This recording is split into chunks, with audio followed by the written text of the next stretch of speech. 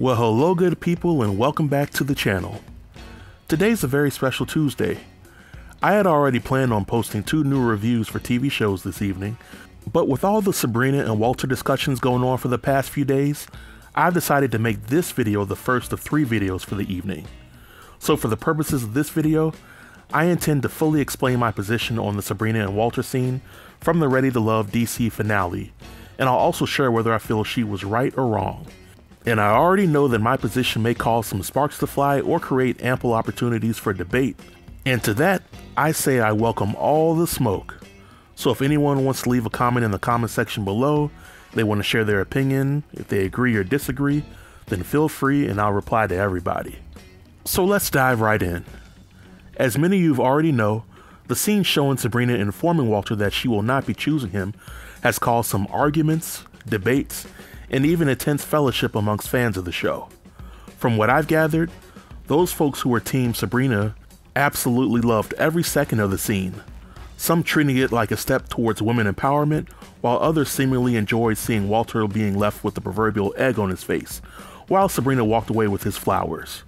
And those who were not Team Sabrina respected her decision to end her connection with Walter, but they were concerned because Walter appeared to be blindsided by Sabrina's decision, and there's an argument that Sabrina could have handled that situation better. To get things started, I think it's important for me to acknowledge that Sabrina had every right to make whatever decision she wanted to make. Deep down, she felt that she didn't want to continue the process with Walter, and I don't think anyone had an issue with Sabrina's actual decision, despite the opposite being the driving narrative for many people on the Team Sabrina camp. But I feel that there's a right and wrong way to handle situations involving rejection, and I think Sabrina handled the situation with Walter the wrong way. Now, of course, on social media, there was intense debate on whether or not Walter was truly blindsided by Sabrina. But I look back several episodes ago when Sabrina invited Sean to meet her friends, and she blindsided Sean by getting her friends to go on attack mode while she sat back quiet and allowed Sean to take the heat for 95% of the interaction. So to me, when Walter claims that he was blindsided, I find that his statements can have some merit to them. Walter did have a recent interview on YouTube, and according to Walter, had he known that Sabrina was feeling the way that she did, he would have respected her decision and still wanted to remain friends with her because their connection was real. But by the end of Sabrina and Walter's scene, you could tell that there was some real tension between the two of them simply by how the situation was handled. And in my opinion, this was partly due to Walter knowing that Sabrina only made it to the end of the show because of him. Let's keep it 100% real on this. I think Sabrina's approach to the Ready to Love process is what unfortunately led her to have very few connections. Sabrina wanted to be courted, pursued, and made to feel like she was number one, which are pretty reasonable expectations for any woman on the dating scene. But this show is not a reflection of your average dating scene. The show is a competition where Sabrina has nine other women who are trying to do whatever it takes to get a man. A show that allows men to get rid of the women they aren't feeling, and vice versa. And from early on, it seemed like Walter was the only one really checking for Sabrina. But Walter also had several other connections with women who he wanted to pursue. In my opinion, Courtney was Walter's top connection due to her youthfulness, beauty, and outlook on sex. But because Courtney only wanted to pursue Cornelius, the rest was history. Walter also wanted to pursue Mumin for the same reason as Courtney, minus the sex, of course. But the Brown Girl Squad caused Mumin to sabotage her connection with Walter, which left Sabrina as the last one standing. And during the men's elimination, I firmly believe that the men made a pact with one another to protect their solid connections from elimination. Again, let's keep it real.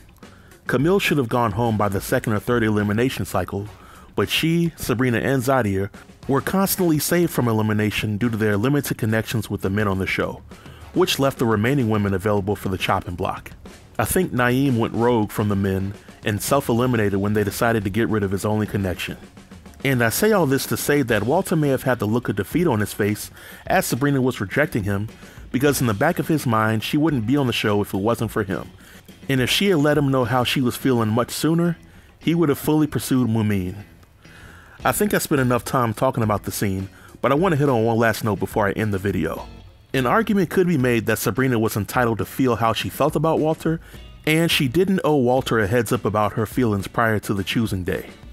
But for me, I've always lived by the motto treat others the way you want to be treated. And as it relates to the concept of being rejected, I still believe that the treat others the way you want to be treated concept still applies. And judging by Sabrina's reaction in episode 8 to being nominated for possible elimination, I doubt that Walter would have been fine if she felt blindsided by him for not choosing her on choosing day. So again, treat others the way you want to be treated. And if you're cool with being blindsided, then I'm sure it'll help build character. So these are my thoughts on the matter. If you wish to comment on any of the points that I made, feel free to do so. I stick by everything that I said, but I also open the door to learning from different opinions. But later on, I'll be posting my reviews for the new episodes of The Kings of Napa and Our Kind of People. So pray for me. Until next time, stay tuned and stay safe. Peace.